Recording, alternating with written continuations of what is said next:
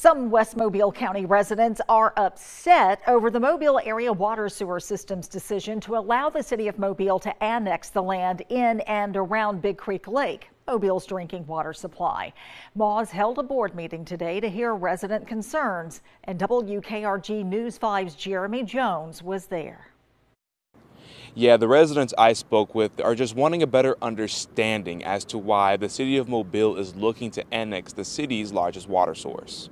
A packed MAWSS board meeting Monday, so packed that some people weren't allowed inside the room, all with one question. Why they even think they need to, to take it over. MAWSS has agreed to allow the city of Mobile to annex Big Creek Lake and the 9,000 acres of land surrounding it. Some concerned citizens are wondering what annexing the lake will mean for them. I do have property uh, joining MAWSS, and so I'm here just concerned about what's going to happen. What are what are they going to do? And other citizens are questioning how quickly the decision was made. Like we found out about it through the news.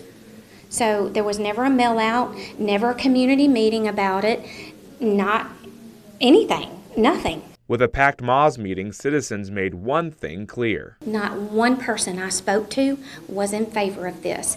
Our biggest concern is if the city comes in and takes MAWSS and the surrounding areas, which is the 9,000 acres surrounding it, where is it going to stop? MAWSS board members told the residents that they're simply allowing the city to annex the Big Creek Lake property. City of Mobile spokesperson Candace Cooksey sent us a statement that says, in part, no official annexation plans or proposals have been put forward, and we have not discussed any effort to annex a significant number of residential properties. Our focus has been exploring ways to protect Big Creek Lake and its headwaters. MAWSS owns the vast majority of the property around Big Creek Lake. I don't I can't speak for everybody out there, but I don't think nobody out there would, would voluntarily be annexed into the city of Mobile.